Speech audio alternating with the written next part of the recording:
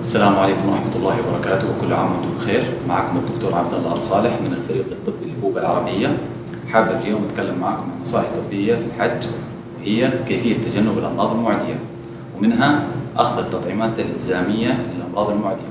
لكن هذه التطعيمات لا تحمي من جميع الأمراض المعدية. فيجب على الحاج الحرص على غسل اليدين باستمرار استخدام المناديل عند العطاس وتجنب الناس الذين يظهرون عليهم الأمراض المعدية. وشكرا. كل عام وأنتم بخير وحج مبرور وسعيد ومشكور